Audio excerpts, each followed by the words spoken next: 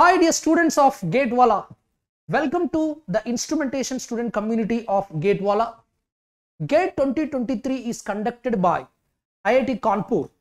Previously, it was 2015, the same IIT Kanpur conducted the exam for GATE instrumentation. So, before going to attempt the GATE 2023 paper, let us have a look in 2015 how the questions and how the marks are distributed exclusively for instrumentation. If you see the subjects, the first highest in our technical highest marks went to network theory. Network theory we got 11 marks, they are easy level.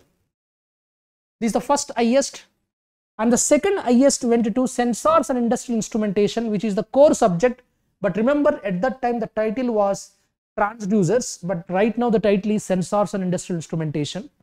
So the questions were medium not difficult but medium. So 11 marks came.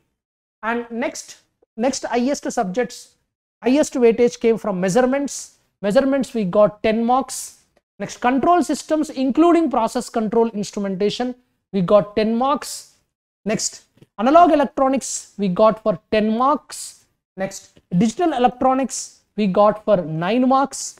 And most important optical instrumentation we got 5 marks and the paper level was difficult.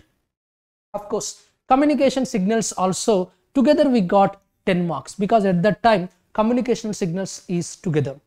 So my dear students if you see the core subject like sensors optical instrumentation and process control is covering around 17 marks and network theory uh, control systems analog electronics digital electronics is covering almost 40 marks. So keeping in this mind try to sharpen your gate 2023 preparation.